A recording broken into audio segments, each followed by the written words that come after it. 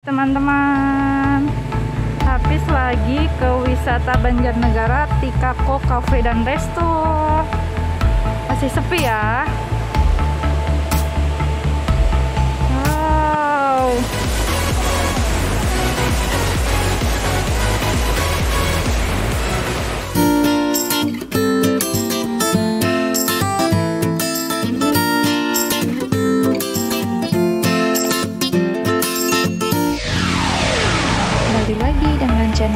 Vlog.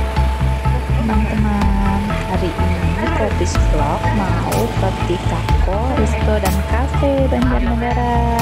Salah satu wisata yang lagi hits di Banjarnegara. Yuk tonton videonya.